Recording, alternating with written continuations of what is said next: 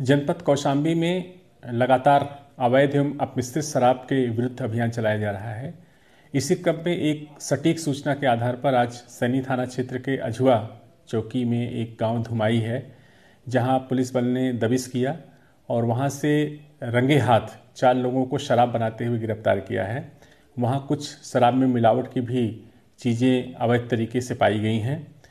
इस पूरे प्रक्रम में इन चार लोगों के पास से लगभग साढ़े तीन सौ लीटर शराब जो अपमिश्रित है, वो बरामद की गई है।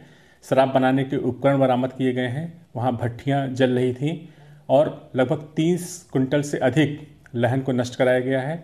इस पूरे मामले में एक गाँव के पूर्व प्रधान का नाम प्रकाश में आया है, जो डेयरी की आड़ में इस धंधे को बढ़ावा दे रहे थे। पूरे गिरोह का पर्दाफाश किया जाएगा, उनके खिलाफ गैंगस्टर की कार्रवाई की जाएगी, एनएसए की कार्रवाई की जाएगी, और इस अवैध धंधे को पूरी तरीके से बंद कराया जाएगा।